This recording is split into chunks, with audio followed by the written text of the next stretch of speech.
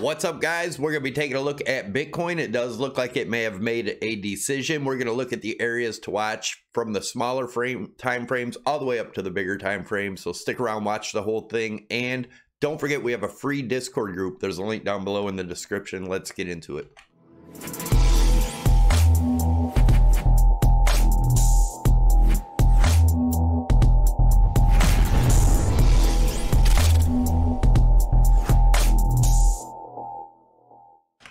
Right, guys, as always, this is not financial advice, trading advice, nor is it investment advice. Disclaimer scrolling on the bottom. Make sure you read it. And don't forget, we're doing a free Ledger Nano S hard wallet giveaway on Sunday. All you have to do to enter to win is make sure you're subscribed to the channel, tick the notification bell to get you notified when I post videos, smash that thumbs up, and leave your comment down below. I'll pick a random comment from a random video throughout the week.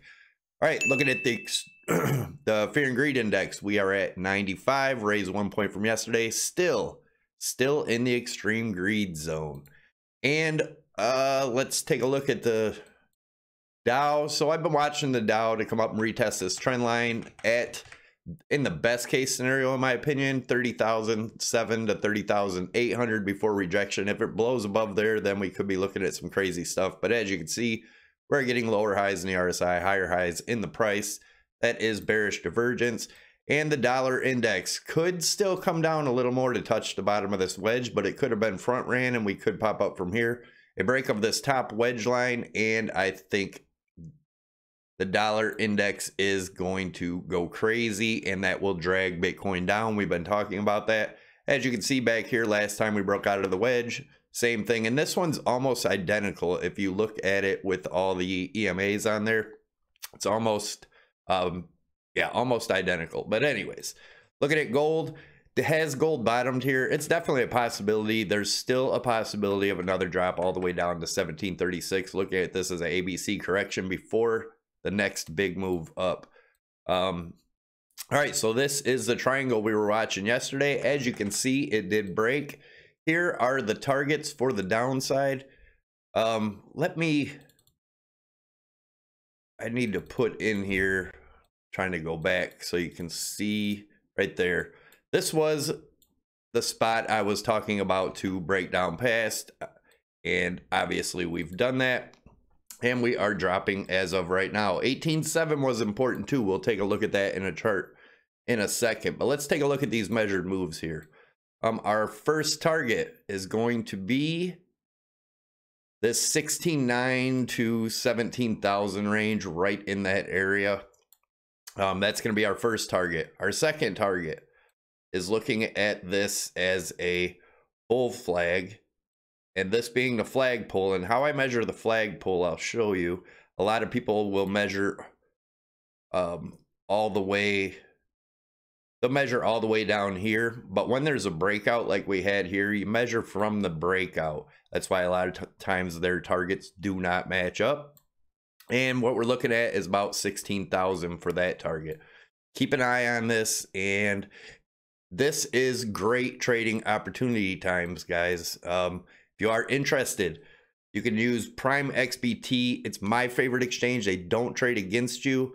And you can trade crypto, forex, gold, silver, oil, S&P, Dow Jones, all on one exchange. You can make multiple you can be trading in a long and a short at the same time without making multiple accounts. You can do all kinds of different stuff with it. Definitely check it out. This is all the stuff on the side that you can trade. Um, again, like I said, by far my favorite. You can use promo code SAVY50 to get you 50% on top of whatever you deposit. As a bonus, up to one Bitcoin, you can use that towards your margin. And Savy25 will get you 25% off your fees. Even if you already have um, an account you can still use my promo code. So check it out. All right, now this was the last hope right here for continuing up. And I can take this off now. I was showing people in the Discord this morning. And this was what we talked about breaking. But as you can see, the yellow dotted trend lines was looking at this as a possible rising wedge and one more leg up. But it has broken, guys. Um, we broke that 18.7 and that's pretty much it for me. That's not to say we can't come up and retest this again around the 18.9 to 19,000 uh, before continuing down, but it's looking pretty pretty ugly, guys. I'm looking down towards the $17,000 range. Now let's take a look at one more thing here. As you can see, this rising channel goes all the way back here. And we have broken out of that to the upside over here.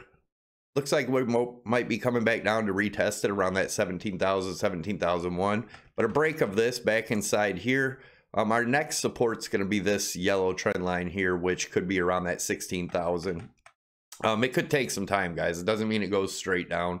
You know, we could bounce around this area for week, two weeks, whatever. But um, regardless, this is what I'm seeing. If we take a measured move of that wedge, where we broke down from it, that could get us all the way down to around the $15,000 range.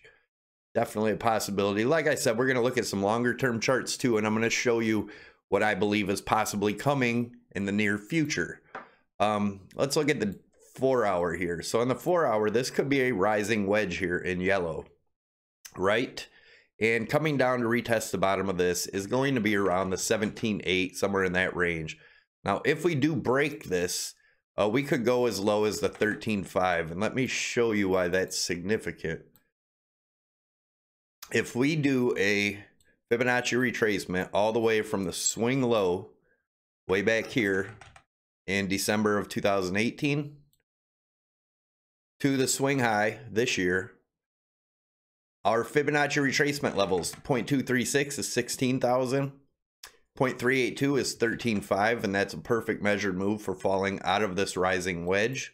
But again, guys, first we have to break out of this wedge, and then we have to break back into this channel, which is around 17,000. So break below that, we would be looking good for coming down here. The 0.382 is 13.5 if that was the break. The 0.5 fib is at 11.5. Then we have the golden pocket zone at 92, 0.786 at 67. Why am I showing you these lower targets? Because they're still possible. Um, if you guys are interested in help support the channel, inkurimage.com. This is my wife's webpage. She makes all this stuff. A lot of great Christmas gift ideas. Um, there is a Bitcoin section also. It's all quality stuff, guys, not iron on garbage. Check it out if you haven't already. And let's look at the daily. So looking at the daily, this is the 18.8 we've been watching forever. And I said one more drop below that, and I think that's it. I think we could be at that point. Um, same thing, the Fibonacci retracement levels that we just looked at here. Uh, best case scenario is we come down and get a bounce off the 16,000 range, which would be the top of this rising wedge here. Um, coming back down to retest that. If we break below the 16, like I said, I'd be looking for the 13.5. If that breaks, 11.5, so on and so forth.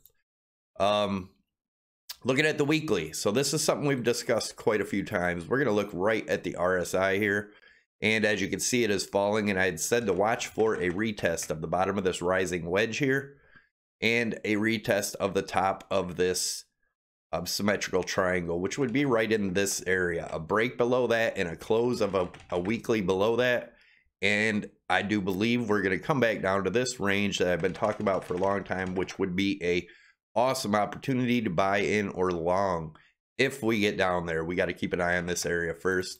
Um, super bullish case scenario, there are the targets. Um, if you haven't seen the measured moves, check out prior videos I showed you.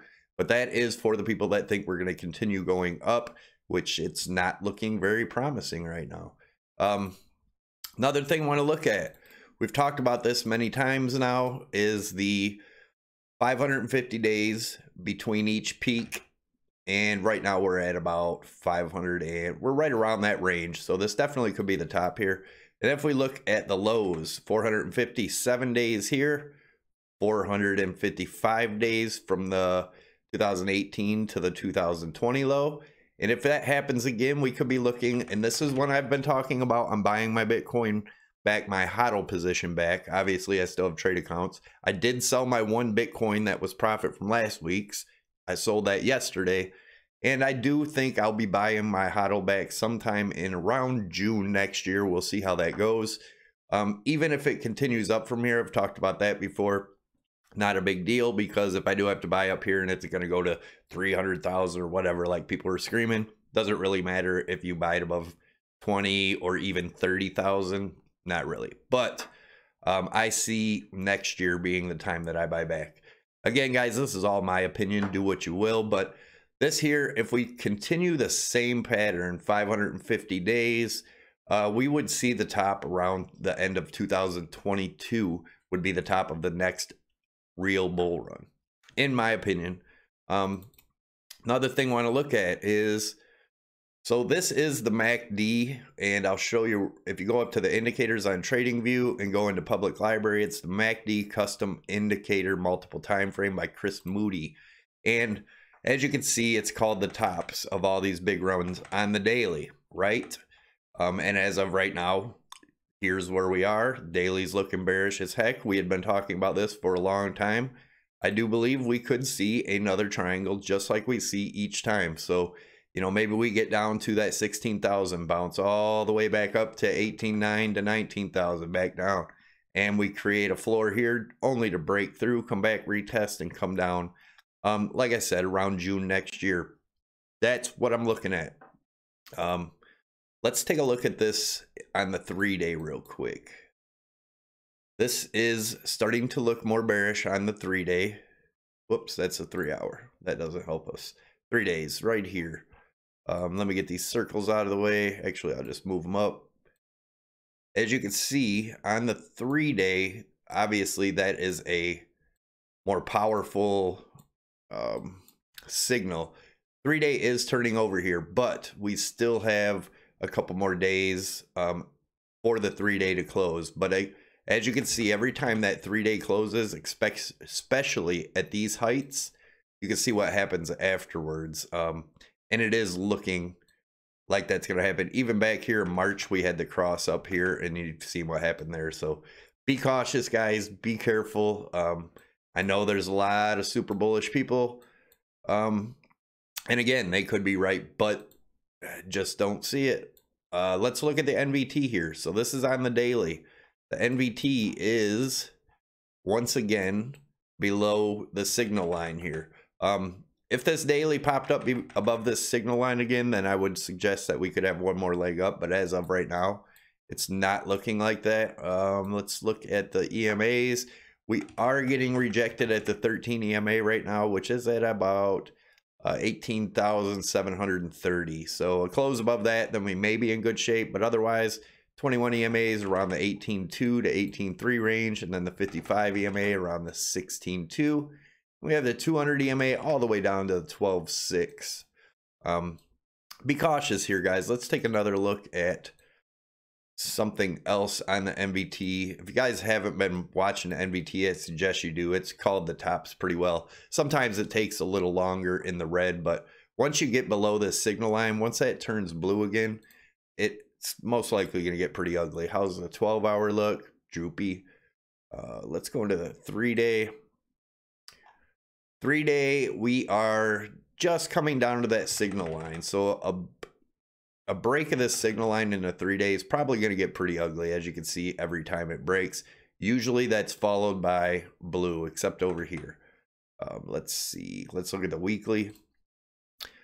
And the weekly does look to be turning over here. We have been, yesterday I talked about this being a possible left shoulder head, right shoulder and coming down from there. So keep an eye on this, guys. If this weekly turns blue, um, it's probably time to get the heck out if you are still in. But anyways, I hope you guys enjoyed the video. Don't forget to subscribe to the channel by clicking the Crypto Savy logo above my head. Smash that thumbs up and leave your comment down below to get you entered to win the free Ledger Nano S. Um, again, I appreciate each and every one of you guys. This is prime opportunity, prime time to be trading in Bitcoin if you are trading. Uh, good luck to y'all. I'm out of here. Take it easy. Have a great day.